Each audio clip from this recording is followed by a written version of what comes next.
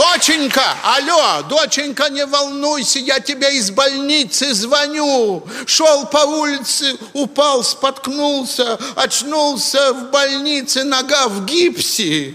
Вот мест, правда, у них свободных не было, они меня положили в родильное отделение. Не волнуйся, здесь все хорошо. Коллектив женский, мата почти не слышно.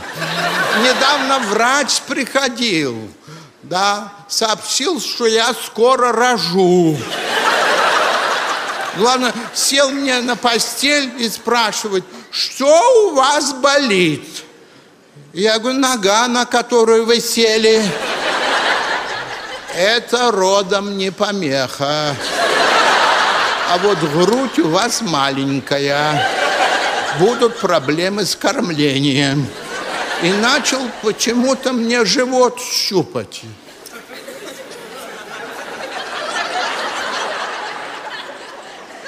Щупал, щупал. О! Плод прощупывается.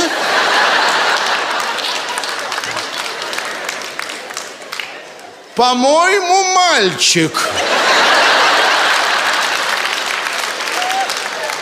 Я какой еще мальчик? Это ключи от квартиры. Может, вы мне все-таки ногу по -по посмотрите? А вы что, здесь футбол собираетесь играть? И чтобы я не волновался, посоветовал мне считать до тысячи. Доченька, я уже до миллиона досчитал, все равно боюсь рожать.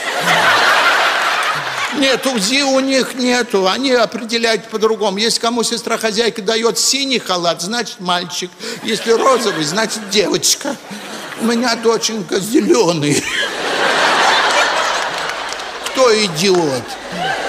Врач? Не, он хороший. Он сказал роженицам, чтобы все брали с меня пример. Да, во-первых, я не курю, а во-вторых, ко мне мужики на свидание не приходят. А то стоят целыми днями под окнами, орут. Валя, Зина, Нина. Вчера один весь день Таня кричал. Таня! А у нас никакой Тани нет. Ну, невозможно было это слышать. Пришлось самому к нему выглянуть.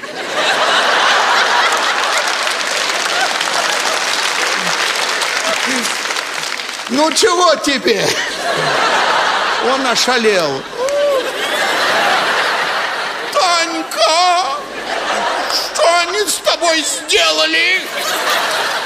Я говорю, если любишь, привыкнешь. Сегодня опять, между прочим, врач приходил. Да, спросил, ну как, собираетесь рожать? Я, конечно воды уже отошли. Что там? Потом главный пришел, этот врач главный. О, такой солидный. Тоже начал меня щупать, щупал, щупал. Беременность протекает нормально. Я говорю, вы не там щупаете. Я на животе лежу.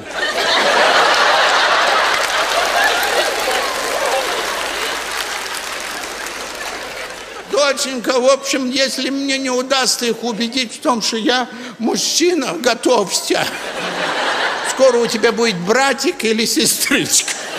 Или и то, и другое. Потому что наша медицина впереди планеты все!